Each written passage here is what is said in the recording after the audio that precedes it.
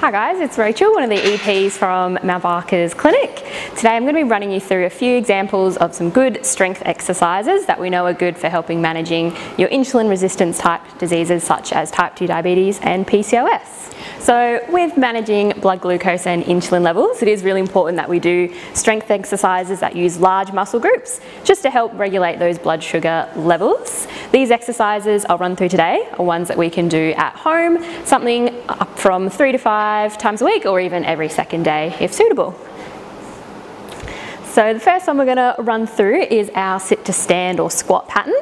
So for this one, just finding a chair at home.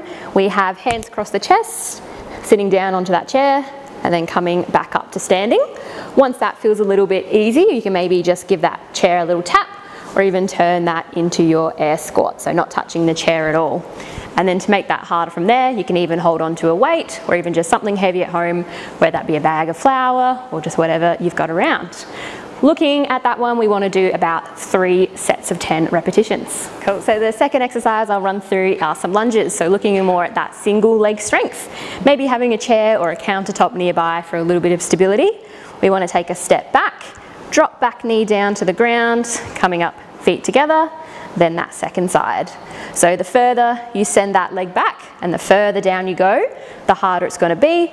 So even just a small separation and a mini drop is a great place to start off. Again, we want to look about three reps three sets of 10 reps rather. All right, so starting to look at the upper body next, we're gonna do a row, so our horizontal pull action. I've got a band here, you can either wrap that around a post at home or maybe around a door handle, just finding something that works for you.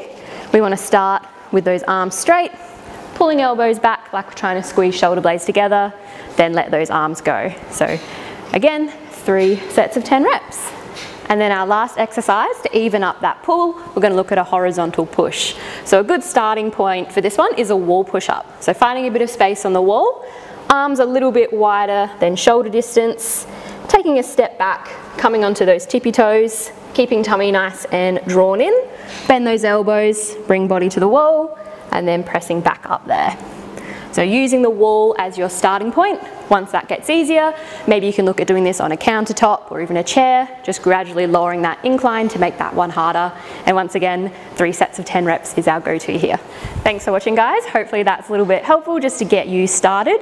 If you were looking for a bit more individualized or a bit more extra challenge, more than welcome to come in and see one of us at one of the clinics and we'll be able to help you out.